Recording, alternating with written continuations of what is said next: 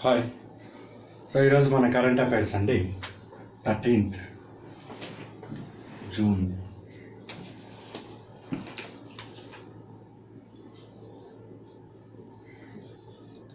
BIMSTEC దీని యొక్క military exercise military exercise సెప్టెంబర్లో టూ థౌజండ్ ఎయిటీన్ మహారాష్ట్రలో పూణే పూణేలో నిర్వహిస్తున్నారు. ఫస్ట్ పాయింట్ సెకండ్ పాయింట్ ఈసారి సమావేశము ఈసారి బిమ్స్టెక్ సమావేశము రెండు వేల పద్దెనిమిది. ఖాట్మండులో నిర్వహిస్తున్నారు. నేపాల్. నేపాల్ రాజధాని కాట్మండు ఆగస్టులో. ఈ ఎక్సర్సైజ్ యొక్క theme counter terrorism terrorism in semi urban terrain and cotton so one of the important topic BIMSTEC అండి. సో దీని యొక్క చరిత్ర మనం పరిశీలన చేస్తే బీమ్స్టెక్ అనేది Bangladesh Bangladesh India India Sri Lanka and Thailand. ఇవన్నీ కూడా ఎకనామిక్ ఆర్థిక సహకారం చేసుకోవాలని పంతొమ్మిది వందల తొంభై ఏడులో బ్యాంకాక్లో బ్యాంకాక్లో సమావేశమై నిర్ణయించుకున్నాయి. Bangladesh India Sri Lanka Thailand. Economic cooperation. BIST Bangladesh India Sri Lanka Thailand economic cooperation. పంతొమ్మిది వందల తొంభై ఏడులో బంగ్లాదేశ్ ఇండియా మయన్మార్. మయన్మార్ వచ్చి దీంతో జాయిన్ అయింది. ఎస్టీఈసి. ఈసీ అంటే economic cooperation.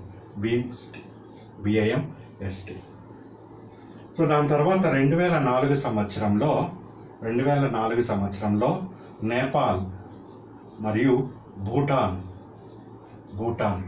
ఈ రెండు కూడా వచ్చి బీమ్ స్టిక్ స్టెక్ తోటి జాయిన్ అయినాయి. సో అప్పుడు ఇది బే ఆఫ్ బెంగాల్. ఇవన్నీ కూడా మీకు బంగాళాఖాతము ఆ సరౌండింగ్ బంగాళాఖాతం ఐడియా ఉంది కదండి ఇప్పుడు మ్యాప్లో కూడా చూపించాను. ఇండియన్ ఓషన్ ఇటు ఇండియన్ ఓషన్ ఇటువైపు రైట్ సైడ్ మనం చూస్తేనేమో బే ఆఫ్ బెంగాల్ లెఫ్ట్ వైపు ఏమో అరేబియా సముద్రం. బే ఆఫ్ బెంగాల్ ఒడ్డున ఉన్నాయి కాబట్టి ఇవన్నీ కూడా ఎకనామిక్ కోఆపరేషన్ చేసుకోవాలని రెండు వేల నాలుగులో నిర్ణయించుకుంది అయితే కేవలం ఆర్థిక రంగంలో సహకారం ఒకటే కాకుండా మల్టీ సెక్టార్ అన్ని రంగాల్లో మనం సహకారం చేసుకుందామని రెండు వేల నాలుగులో ఈ బీమ్స్టెక్ పేరు మార్చాలి ఆ మార్చిన పేరు మనము bay of Bengal bay of Bengal Bengal initiative INA T I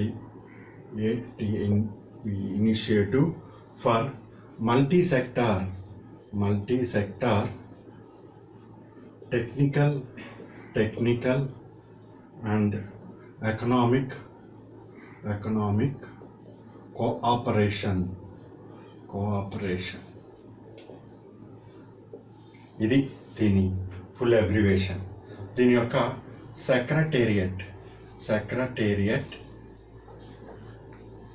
బంగ్లాదేశ్లో బంగ్లాదేశ్ ఢాకాలో ఉన్నది. ఢాకాలో ఉన్నది.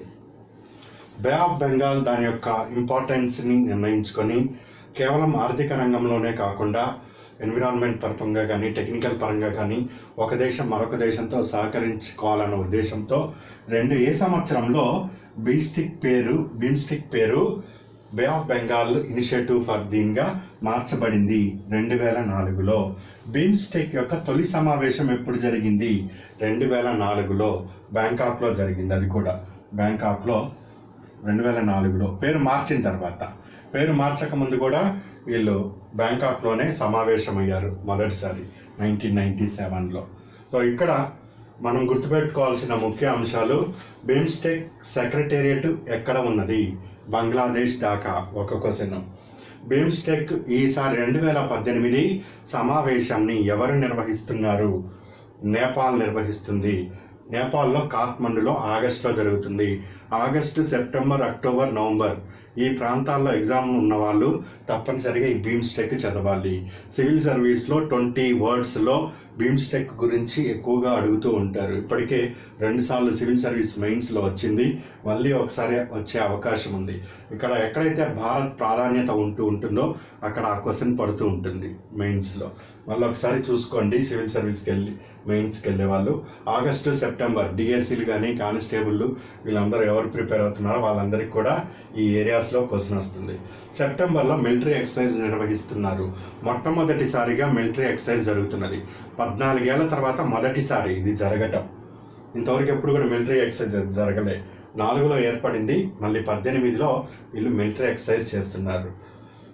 ఈ మిలిటరీ ఎక్సైజ్ కూడా పూణే దగ్గర నిర్వహిస్తున్నారు. ముప్పై మంది జవాన్స్ ఒక్కొక్క దేశం నుంచి వచ్చి పాల్గొనబోతున్నారు ఈ ప్రాంతంలో. అది కూడా కౌంటర్ టెర్రరిజం మీద. సో ఇది ఒక కౌంటర్ టెర్రరిజం మీద బిమ్స్టెక్ దేశాలు మిలిటరీ ఎక్సర్సైజ్ని ఎక్కడ నిర్వహిస్తున్నాయి? పూణేలో నిర్వహిస్తున్నాయి. Important question. బిమ్స్టెక్ సమావేశం ఎక్కడ జరుగుతుంది? నేపాల్లో జరుగుతుంది. Important question. బిమ్స్టెక్ ఈ విధంగా బే ఆఫ్ బెంగాల్ ఇనిషియేటివ్గా ఎప్పుడు మారింది రెండు వేల నాలుగు ఇంపార్టెంట్ క్వశ్చన్ సో దీని యొక్క సెక్రటేరియట్ ఇంపార్టెంట్ క్వశ్చన్స్ ఇవన్నీ కూడా. ఇరవై పదాలు రాయాలన్నప్పుడు ఇది కేవలము ఎకనామిక్ కోఆపరేషన్ కాకుండా మల్టీ సెక్టర్ అన్ని రంగాల్లో ఇది సహాయ సహకారాలు అందించుకొని ఒక రీజనల్గా ఒక బలోపేతమైన సంస్థగా ఏర్పడుతున్నది అని ఆన్సర్ రాయండి. ట్వంటీ వర్డ్స్లో అది పెద్ద కష్టమైంది ఏమి కాదు. ఇంపార్టెంట్ ఇంటర్నేషనల్ రిలేషన్స్ అని కొత్తగా ఎడిషన్ అయితే అందులో ఇది లేకుండా క్వశ్చన్ ఉండదు.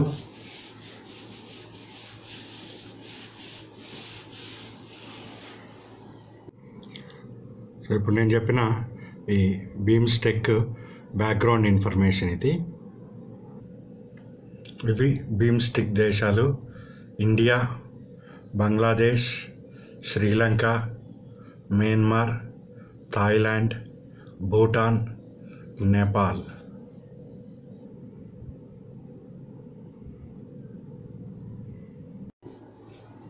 next one Madad Madad పేరుతోటి ఒక యాప్ను రూపొందించింది Indian railway mobile application application for desired desired assistants assistants during during travel mobile application for desired assistants during travel Madad MADAD Madad అంటే ఏమిటి? మదాట్ అంటే అర్థము రైలులో ప్రయాణం చేస్తున్నప్పుడు రైల్వే శాఖ రైల్వే నుంచి ఎలాంటి సహాయం కొంద పొందాలన్నా ఈ యాప్ డౌన్లోడ్ పెట్టుకొని వాళ్ళకి ఇన్ఫర్మేషన్ ఇస్తే సహాయం అందుతుంది. ఈ యాప్ని ఈ యాప్ని railway passengers railway passenger passenger grievance grievance redress redressal and management system. Management system. సిస్టంలో ఇంటిగ్రేటెడ్ సమీ దానిలో భాగంగా ఈ యాప్ని రూపొందించారు. RP GR AMS railway passenger grievance redressal and management system. భారతదేశం అంతా కూడా ఇప్పుడు డిజిటల్ ఇండియా హవా నడుస్తుంది. Online online online. ఎక్కడ చూసిన నెట్ ఫ్రీ. ఈరోజు బిఎస్ఎన్ఎల్ వాళ్ళు కూడా పర్ డే ఫైవ్ జీబీ డేటాని ఉచితంగా ఇస్తున్నారు. సో అంత స్థితికి వెళ్ళిపోయింది డిజిటల్ ఇండియా. డిజిటల్ ఇండియా ఒక మొబైల్ చేతిలో పెట్టుకొని ఎలాంటి సేవలైనా పొందొచ్చు. ఎంఏడిఏడి అంటే ఏమిటి? ఎంఏడిఏడి అంటే mobile application for desire assistant during travel. మీరు ప్రయాణిస్తున్నప్పుడు రైల్వే శాఖ నుంచి సహాయం పొందటం కోసము రైల్వే శాఖ ఈ కొంది ఏ యాప్ని డెవలప్మెంట్ చేసింది? ఏబిసిడి ఎంఏడిఏడి మ్యాడ్ అని గుర్తుపెట్టుకోండి కీవర్డ్ అది రూపొందించింది. మెడాడ్ అప్లికేషన్ అన్నది ఈ కింది ఏ ప్రోగ్రాంలో భాగంగా చేసింది? రైల్వే ప్యాసింజర్ గ్రివెన్సెస్ గ్రివెన్సెస్ అంటే మీకు ఏమైనా కంప్లైంట్స్ అవన్నీ కూడా ఉన్నప్పుడు గ్రివెన్సెస్ రీడర్స్ దానిని పరిష్కరించటం కోసము ఆన్లైన్లోనే పరిష్కరిస్తారు. అక్కడ వాటర్ రావట్లేదనో లేకపోతే క్యాంటీన్ బాగాలేదనో లేకపోతే ఇంకో సిస్టమ్ బాగాలేదనో లేకపోతే సెక్యూరిటీ కావాలనో ఇలా ఏది వచ్చినా కానీ మీరు ఈ యాప్ డౌన్లోడ్ చేసుకుని దీనికి ఒక మెసేజ్ ఇచ్చేసారంటే డిజిటల్ ఇండియాలో భాగంగా ఈ మొత్తం నెట్వర్క్లోకి మొత్తం వెళ్ళిపోతుంది. అక్కడ మీకు వచ్చి రైల్వే సిబ్బంది తగిన సహాయం అందిస్తారు. దీనిని అభివృద్ధి చేసిన railway division northern railway northern railway Delhi division వాళ్ళు అభివృద్ధి చేశారు. డిజిటల్ ఇండియాలో భాగంగా అభివృద్ధి చేయడం జరిగింది. ఇట్లా రైల్వే డిపార్ట్మెంట్కి సంబంధించి ఏమన్నా యాప్లు కానీ ఎస్పెషల్లీ సిటిజన్ గ్రివెన్సెస్ ప్రజల సమస్యల్ని పరిష్కరించే విధంగా ఏదన్నా రూపొందిస్తే అది కాస్త ఎగ్జామ్లో ఇంపార్టెంట్ ఒక కీవర్డ్ అడుగుతారు వాళ్ళు ఇట్లా దీనిని కానీ దీనిని కానీ. అలా అడిగి ఇది దేనికి సంబంధించింది? ఇది దేనికి సంబంధించింది? ప్రజల యొక్క ఫిర్యాదులను స్వీకరించి పరిష్కరించడంలో భాగంగా. ఇది ప్రజల ఫిర్యాదుల్ని కంప్లైంట్స్ని స్వీకరించి పరిష్కరించడంలో భాగంగా రూపొందించబడింది.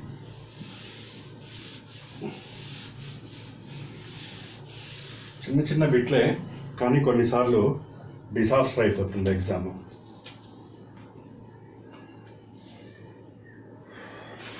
Next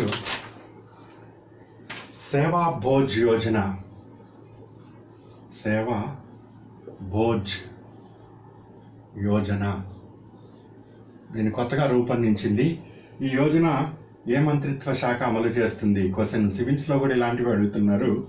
Ministry of culture ministry of culture culture మంత్రిత్వ శాఖ వాళ్ళు సేవా భోజ్ యోజనని అమలు చేస్తున్నారు. ఏంటి సేవా భోజ్ యోజన? అంటే ఈ charitable charitable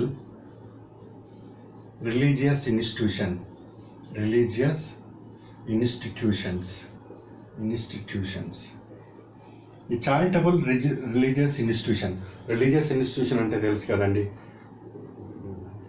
రిలీజియన్ అంటే మతము. మతానికి సంబంధించిన సంస్థలు. చారిటబుల్ అంటే సహాయం అందించడము వీళ్ళు ఏం సహాయం అందిస్తున్నారు? భోజనం పెడుతున్నారు. భోజనము లేకపోతే ఆహార పదార్థాలు ఇవేవో ప్రసాదం పెడుతూ ఉంటారు కదా అన్న ప్రసాదాలు అన్నదానాలు. ఇలా చారిటబుల్ రిలీజియస్ ఇన్స్టిట్యూషన్స్ ఏవైనా రిజిస్ట్రేషన్ సొసైటీ రిజిస్ట్రేషన్ కింద నమోదైనవి ఏమైనా ఉంటే వాళ్ళు భోజనాలు పెడుతున్నప్పుడు కనీసము ఒక నెలకి ఐదు వేల మందికి భోజనం పెట్టే సంస్థ. ఎవరైనా అలాంటి సంస్థ రిజిస్టర్ అయి ఉంటే ఆ సంస్థ కొనే ఆహార పదార్థాలు ఉంటాయి. ఆహార పదార్థాలు కొనాలి కదా అవి? ఈ ఆహార పదార్థాలు కొన్నప్పుడు దీని మీద సెంట్రల్ జిఎస్టీ ఉంటుంది స్టేట్ జిఎస్టీ ఉంటుంది ఐజిఎస్టీ ఉంటుంది. మూడు ఉంటాయి.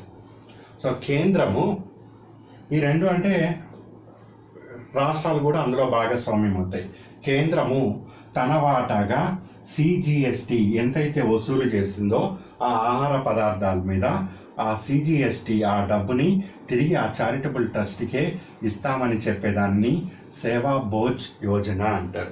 ఏదో దాన కర్ణులాగా చేసినట్టుగా ఉంది. కానీ వాస్తవంగా చూస్తే మన డబ్బు మనకే ఇచ్చేసాడు అక్కడ. అది కూడా పాపం చారిటబుల్ రిలీజియస్ ఇన్స్టిట్యూషన్కి దీనికి ఏమైనా ఫండ్స్ ఇస్తున్నాడేమో అనుకున్నాము. వాస్తవంగా ఈ- ఈ యోజన చూసి అక్కడ సేవా భోజ్ యోజన ఏమీ లేదు. ఒక ఆహార పదార్థాలు. ఇప్పుడు తిరుపతిలో లడ్డు చేస్తారు. ఒక్కొక్క లడ్డు అలా పెడుతూ ఉంటారు. లడ్డు శనగపిండి నెయ్యి ఇవన్నీ కొంటూ ఉంటాం కదా. వాటి మీద ట్యాక్స్ అనేది పడుతూ ఉంటుంది కదా. ఆ ట్యాక్స్ ఏదైతే ఉందో సెంట్రల్ గవర్నమెంట్ షేర్ వాటా ఏముందో అది తిరిగి ఇచ్చేస్తున్నారు అంతే. అంతమించి వీళ్ళు చేస్తున్న అన్నదానాలు లేవు ఏమీ లేవు. అయినా క్వశ్చన్ మనకి ఇంపార్టెంట్ ఎగ్జామ్ పాయింట్ కాబట్టి మనకు కావాల్సింది ఎగ్జాము. సేవా భోజ్ యోజన అమలు చేస్తున్న మంత్రిత్వ శాఖ ఏది? ABCD ministry of culture so charitable religious institutions మీద సెంట్రల్ గవర్నమెంట్ సిజిఎస్టీని రద్దు చేసుకుంది. ఈ కింది ఏ పథకము ద్వారా? సేవా భోజ్ యోజన. సేవా భోజ్ యోజన అనేది దేనికి సంబంధించి? మతపరమైన సంస్థలు సేకరించే ఆహార పదార్థాలపై పరోక్ష పన్ను రాయితీ. కేంద్ర పరోక్ష పన్ను రాయితీ సిజిఎస్టీ రాష్ట్రంది కూడా ఉన్నదా? అని క్వశ్చన్ అడుగుతాడు. సో అలాగే అడుగుతున్నారండి. మీ చదువు ఎక్కడైతే ఆగిపోతుందో దాని తర్వాత నుంచి క్వశ్చన్ ఫ్రేమ్ అవుతుంది. First point. ఎక్కడైతే బాగా కన్ఫ్యూజన్ క్రియేట్ అవుతుందో మీరు చదివేటప్పుడు "ఆ, ఇది రాదులే. ఇది రాదులే అని ఎందుకు అనుకుంటారు మీరు? ఎందుకు అనుకుంటా అంటే అది అక్కడ పాయింట్ మనకు క్లారిటీ లేదు. ఆ పాయింట్ మన క్లారిటీలోకి ఇది రాదులే ఇట్లాంటిది అడగలే అని పక్కకి పోతాం. అక్కడే వేస్తాడు. ఏదైతే కన్ఫ్యూజన్కి గురి అవుతుందో ఏదైతే మనం రాదనుకుంటామో అట్లాంటివే మనకు తిరిగి వస్తుంటుంది. ఎక్కడ మీరు ఆపుతారో అక్కడి నుంచే ప్రయాణం సాగుతుంది ఎగ్జామినర్ది. అందుకే చెప్తున్నాం. సిజిఎస్టీయా ఎస్జిఎస్టీయా ఐజిఎస్టీయా అని పక్కన కామాలు పెడతాడు ఐజిఎస్టీ లేదు ఇంటిగ్రేటెడ్ది లేదు స్టేట్ జిఎస్టీ లేదు ఓన్లీ సిజిఎస్టీ మాత్రమే ఉంది. ఇది చాలా ఇంపార్టెంట్ మీకు. అది కూడా నెలకి ఐదు వేల మందికి అన్నం పెట్టేదై ఉండాలి. ఐదు సంవత్సరాల రిజిస్టర్ అయి ఉన్న ఇన్స్టిట్యూషన్స్కి మాత్రమే ఇస్తారు. సో సేవా భోజ్ యోజన అంటే ఇది. ప్రభుత్వ పథకాలు దాని అమలు శాఖ అమలు చేసే విధానము దానికి సంబంధించిన అంశాలు. ఇంపార్టెంట్ ఫోర్త్ పాయింట్ ఈరోజు మంది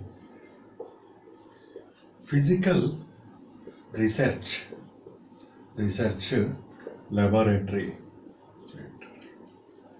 ఇది గుజరాత్లో గుజరాత్లో అహ్మదాబాద్లో ఉన్నది. అహ్మదాబాద్. దీన్ని పంతొమ్మిది వందల నలభై ఏడులో డాక్టర్ విక్రమ్ సారాభాయ్ గారు విక్రమ్ సారాభాయ్ ఈయన ఏర్పాటు చేశారు. అప్పుడు ఈ ఆస్ట్రోనామీ దాని గురించి చదవాలన్న ఆతృతతోటి మంచి ప్లేస్ చూసుకొని ఆయన అక్కడ ఏర్పాటు చేశారు. అప్పటి నుంచి కూడా ఇది పనిచేస్తూనే ఉంది.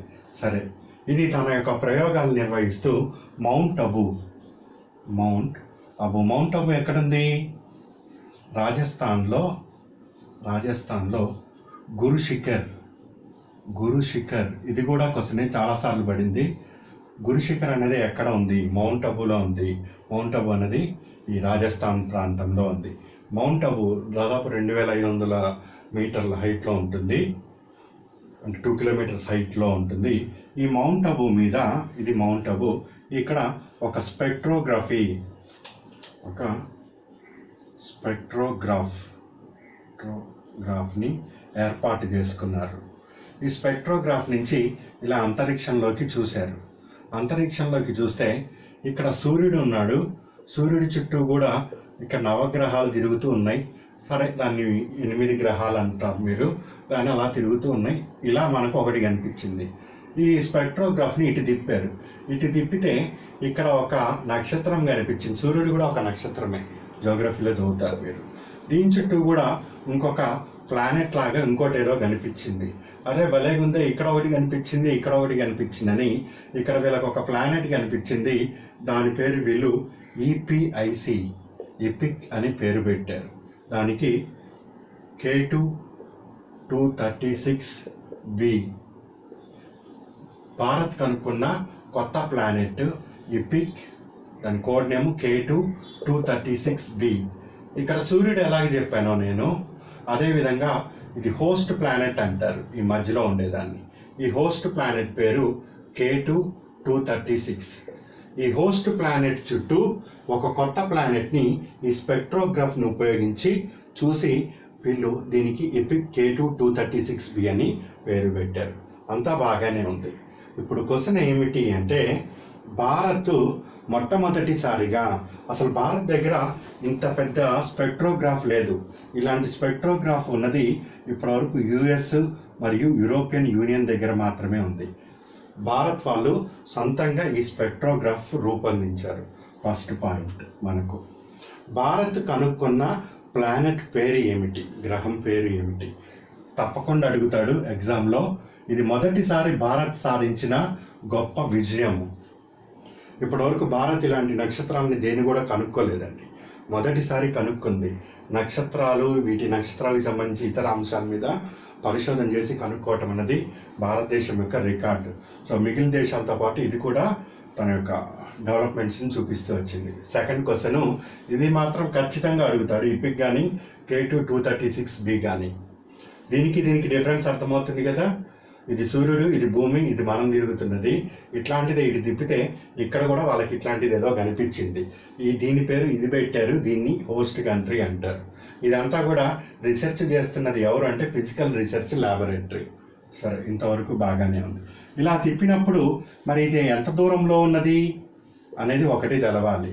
మరి దీని యొక్క మాస్ వాల్యూ బరువు ఎంత ఉన్నది ఇవి కూడా తెలుసుకోవాలి.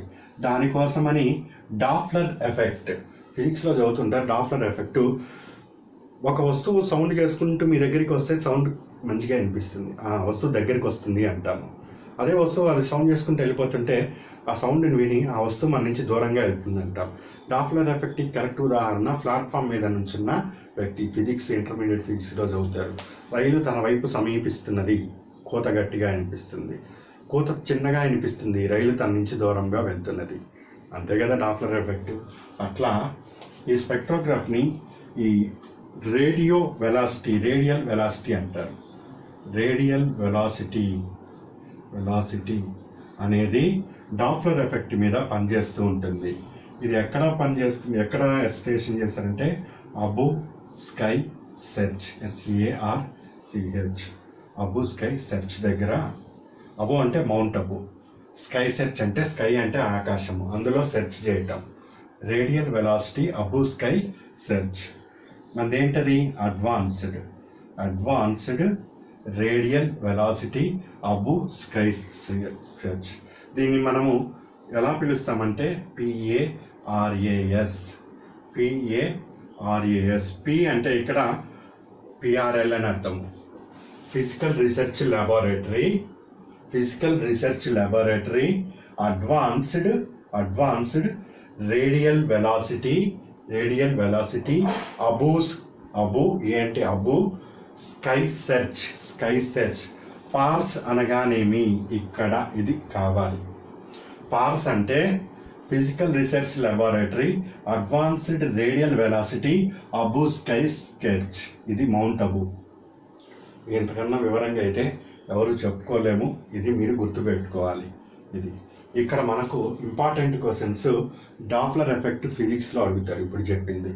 నెక్స్ట్ ఫిజికల్ రీసెర్చ్ లాబొరేటరీ భారత్లో ఎక్కడ ఉంది? గుజరాత్ అహ్మదాబాద్. జీకే క్వశ్చన్ ఎవరు ఏర్పాటు చేశారు? విక్రమ్ సారాభాయ్ గారు నలభై ఏడులో. మౌంట్ అబు ఎక్కడ ఉంది? రాజస్థాన్ గురుశిఖర్ గుర్తుపెట్టుకోండి. రేడియల్ వెలాసిటీ అనేది ఏంటి? రేడియల్ వెలాసిటీ అంటే ఇప్పుడు నేను మీకు అది ఫిగర్ కూడా చూపిస్తున్నాను. అందులో మీకు క్లియర్గా అర్థమవుతుంది. Blue colour and red colour. Radial వెలాసిటీని Doppler effect మీద స్పెక్ట్రోగ్రాఫ్ స్పెక్ట్రమ్ అంటే తెలుసు కదండి. ఒక గాజు ముక్కలో ఒక తెల్లని కాంతి ఏడు రంగులుగా వేవ్ లెంత్లుగా విడిపోయేదాన్ని స్పెక్ట్రమ్ అంటారు. సో కాంతి నుంచి దాని యొక్క తరంగ దైర్ఘ్యాన్ని లెక్కేసి దాని యొక్క తీవ్రతను లెక్కేయటం ద్వారా దాని యొక్క పదార్థ ధర్మాన్ని తెలియజేసేది స్పెక్ట్రోగ్రాఫ్ ద్వారా తెలియజేస్తారు. కానిస్టేబుల్ వాళ్ళకు కూడా అడిగారండి. వేవ్ లెన్స్ ఇచ్చి ఇది ఏ స్పెక్ట్రోగ్రాఫ్ అది ఇది అని. మిస్ కాకండి ఇట్లాంటివి కాంప్లికేటెడ్గా ఉంటాయి కానీ క్వశ్చన్ కొద్దిగా ఆలోచిస్తే చేయగలిగేవి ఇవన్నీ కూడా. సో అట్లా చదివేదాన్ని రేడియల్ వెలాసిటీ ఇది. ఇట్లా పంపించి ఇప్పుడు మీకు చూపిస్తాను.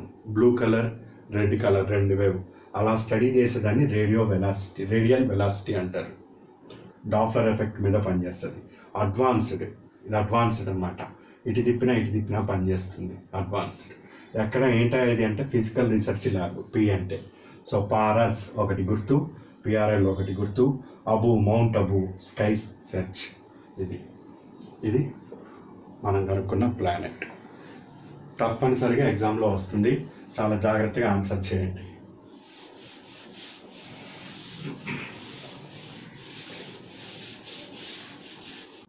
ఇప్పుడు మీకు కనిపిస్తున్నది మనము అడ్వాన్స్డ్ రేడియల్ వెలాసిటీ గురించి చెప్పటమండి సో భూమి మీద నుంచి ఆ స్పెక్ట్రోగ్రాఫిక్ని మనం ప్రొజెక్ట్ చేస్తాం.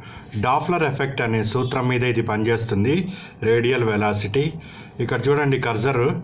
ఒక వస్తువు దగ్గరగా వస్తున్నప్పుడు అది విడుదల చేసే ఈ వేవ్ లెంత్ స్పెక్ట్రమ్ అనేది బ్లూ కలర్లో ఉంటుంది. అదే వస్తువు భూమి నుంచి దూరంగా వెళ్ళిపోతూ ఉంటే దాని నుంచి వచ్చే వేవ్ ఇక్కడ మనము రెడ్ కలర్లో ఇండికేట్ చేస్తున్నాం.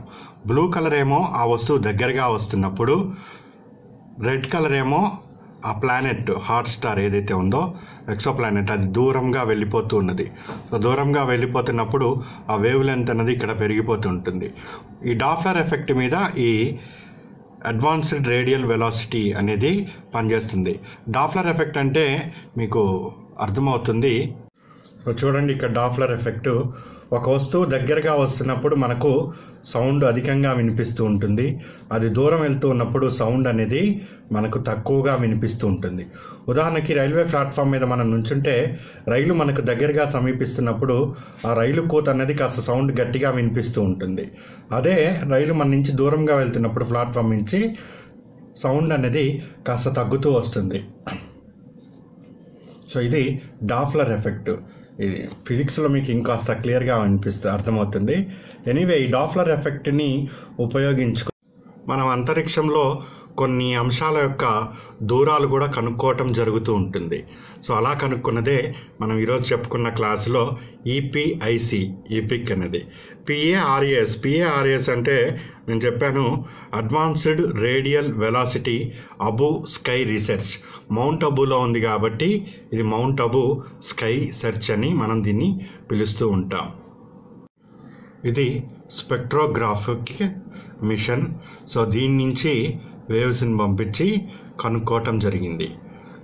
సో ఇది మౌంట్ అబు రాజస్థాన్ గురుశిఖర్ జోగ్రఫీలో కూడా వస్తుందండి. గురుశిఖర్ ఎక్కడుందంటే mount Abu. So mount Abu స్టేషన్లో దీనిని ఉంచటం జరిగింది. దీని నుంచి వచ్చే సిగ్నల్ని ఈ ఫిజికల్ రీసెర్చ్ లెబొరేటరీ అక్కడ పరిశీలన చేసి దాని ద్వారా ఈ పిక్ దాన్ని కనుక్కున్నాం మనం. సో ఇదండి మనకు.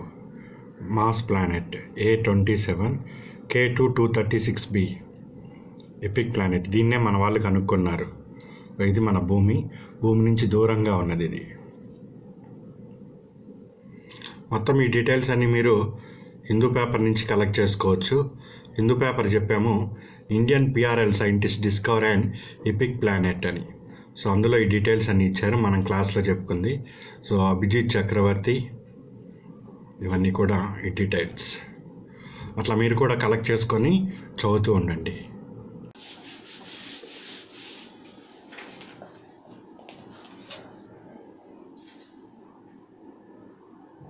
Next one ఇంపార్టెంట్ది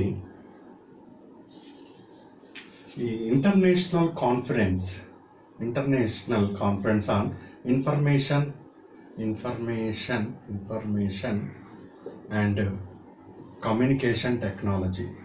Communication technology. అంతర్జాతీయ సదస్సు ఇంటర్నేషనల్ కాన్ఫరెన్స్. అంతర్జాతీయ అంతర్జాతీయ సదస్సు. దేని మీద? ఐసీటీ మీద. ఎక్కడ జరిగింది? ఇది కూడా నేపాల్లోనే జరిగింది. నేపాల్. జూన్లో జరుగుతుంది. జూన్ పదిహేడు పద్దెనిమిది. నేపాల్ కాత్మండులో జరుగుతుంది. కాత్మండు నేపాల్ రాజధాని. దీని యొక్క థీమ్ ఏమిటి? దీని యొక్క theme sustainable. Sustainable development goals. Development goals. SDG sustainable development goals for smart smart society. For smart society. Smart society సమాజంలో ఒక మార్పును కోరుకుంటున్నది. So information and communication technology ద్వారా దీని మీదే మెయిన్స్ క్వశ్చన్ కూడా అడిగారు తెలంగాణ వాళ్ళకి. Digital divide. డిజిటల్ డివైడ్ అంటే ఏమిటి? Digital divide is nothing but geographical and technological divisions. Geographical technological and demographic dividend. కొన్ని కొన్ని ప్రాంతాలలో కొంతమందికి మాత్రమే ఇన్ఫర్మేషన్ అండ్ కమ్యూనికేషన్ టెక్నాలజీ యొక్క పరిజ్ఞానం ఉండటాన్ని ఇన్ఫర్మేషన్ అండ్ కమ్యూనికేషన్ టెక్నాలజీ. ఈరోజు యూట్యూబ్లో ఆన్లైన్లో అన్నీ దొరుకుతున్నాయి మీకు. ఏదైనా వస్తువు కావాలన్నా కానీ అమెజాన్కో ఫ్లిప్కార్ట్కో కొట్టి తెప్పించుకుంటున్నాం. సో ఈ టెక్నాలజీని ఉపయోగించుకోవటం అన్నది కొంతమందికి దక్కుతున్నది అని చెప్పేదాన్ని డిజిటల్ డివైడ్ అంటారు. అలా కాదు సమాజంలో ఉండే ప్రతి వాళ్ళు కూడా ఇందులో భాగస్వామ్యం కావాలి అని చెప్పేదాన్ని స్మార్ట్ సొసైటీ అంటారు. స్మార్ట్ సిటీస్లో స్మార్ట్ సొసైటీ అనేది ఏర్పడుతుంది. స్మార్ట్ ఈజ్ నథింగ్ బట్ ఇక్కడ అన్ని రకాలుగా అన్ని రకాలుగా అంటే టెక్నాలజీ పరంగా సమాజంలో చైతన్యము రావటం. సో ఇది ఎస్డిజి గోల్స్లో ఒక ముఖ్యమైనదండి స్మార్ట్ సొసైటీ ఎస్డిజి గోల్స్ లేకుండా క్వశ్చన్ పేపర్ ఈసారి ఫిట్ కాదు రాదు కూడా. తప్పనిసరిగా వస్తాయి. సస్టైనబుల్ డెవలప్మెంట్ గోల్స్ ట్వంటీ థర్టీకి రీచ్ అవ్వాల్సినవి. ఏదో ఒక క్వశ్చన్ అయితే తప్పనిసరిగా పడుతుంది. ఈసారి sustainable development goals for smart city theme తోటి సమావేశం ఎక్కడ జరిగింది? కాత్మండులో జరిగింది. ఇన్ఫర్మేషన్ అండ్ కమ్యూనికేషన్ టెక్నాలజీ అంతర్జాతీయ సదస్సులో ఏ theme నిర్వహించబడింది? Sustainable SDG for smart cities smart society. ఇట్లా ఎట్లాగైనా కానీ ఆన్సర్ చేయండి. ఎస్డిజి మాత్రం important. And every year June twelfth నాడు జూన్ ట్వెల్త్ నాడు మనము world day against against child labour child లేబర్ని మనం నిర్వహించుకుంటూ ఉంటాం. దీని యొక్క థీమ్ రెండు వేల పద్దెనిమిది యొక్క ముఖ్య theme generation generation safe and health. Generation safe and health. International labour organisation రెండు వేల రెండు సంవత్సరం నుంచి రెండు వేల రెండు సంవత్సరం నుంచి జూన్ పన్నెండుని చైల్డ్ లేబర్ వ్యతిరేక దినముగా చైల్డ్ లేబర్ వ్యతిరేక దినముగా నిర్వహిస్తూ ఉంది. భారత్ కూడా అందులో భాగస్వామ్యమైంది.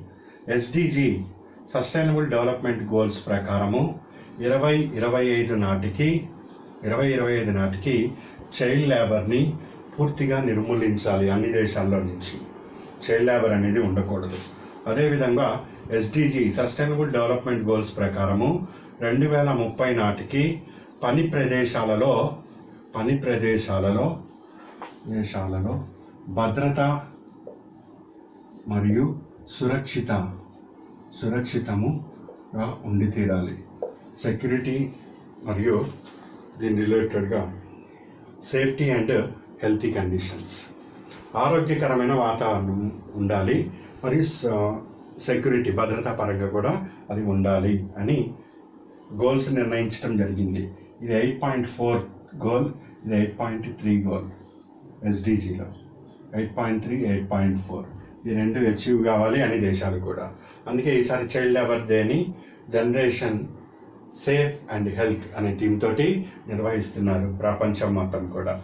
గోల్స్ ఒకటి ఇంపార్టెంట్ చైల్డ్ లేబర్ని పూర్తి స్థాయిలో ఏ సంవత్సరం కల్లా నిర్మూలించాలని అంతర్జాతీయంగా తీర్మానం చేయడం జరిగింది ఐక్యరాజ్య సమితిలో ఇరవై ఇరవై ఐదు నాటికి ఇంపార్టెంట్ చైల్డ్ నెంబర్ మీద ఒక ఎస్ఏ రైటింగ్ కూడా వస్తుంది. Most important topic. అది వచ్చినప్పుడు మనము ఇంకా దాని మీద డీటెయిల్స్గా వాళ్ళ హక్కులు ఏంటి ఎలా ఉల్లంఘన చేయబడుతున్నాయి చైల్డ్ లేబర్ మీద బిల్లు ఏమున్నాయి పోసాకో చట్టాలు ఏంటి నెంబర్ ఆఫ్ థింగ్స్ని మనం టైం టు టైం డిస్కస్ చేద్దాం. సో చదువుతూ ఉండండి. అందరికీ important current affairs so time ఉన్నప్పుడల్లా మనం అందిస్తూ ఉన్నాం. దాంతోపాటు మీరు కూడా వర్క్ చేస్తూ ఉండండి. సో మేము కూడా ఇచ్చేది ఇస్తూ ఉంటాం. ఓకే అండి? Good luck